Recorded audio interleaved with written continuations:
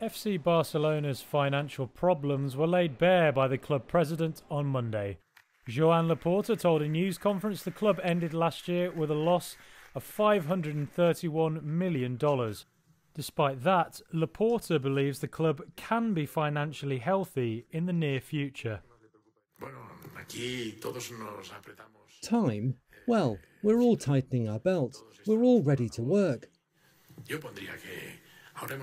We've now caught a breather for a year and a half, but I reckon that in a couple of years the club will be healthy.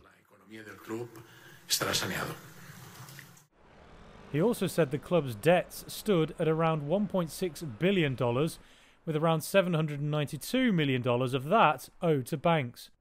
Barcelona's finances are in dire straits due to years of wage inflation and expensive transfers. They even recently lost club icon Lionel Messi this month as they were unable to afford to renew his contract. The Argentinian, widely seen as one of the world's greatest ever players, moved to Paris Saint Germain. But Laporta remains optimistic for the future and claimed the club had many options open to it.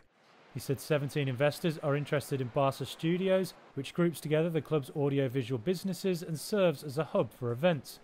Recently, Barcelona have been a leading club in trying to form the European Super League, an idea that other major clubs soon gave up on. Last week, Barca, along with rivals Real Madrid and Athletic Bilbao, also opted out of a planned multi billion euro investment in Spain's top soccer league, La Liga. Laporta argued the deal would mortgage the club's television rights for the next 50 years.